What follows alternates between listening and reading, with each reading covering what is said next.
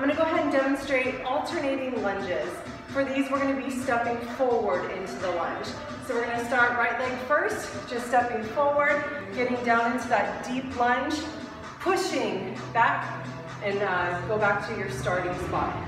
So other side, pushing back.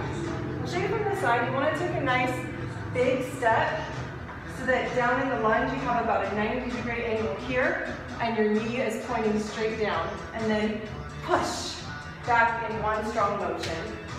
Okay, so these are alternating lunges.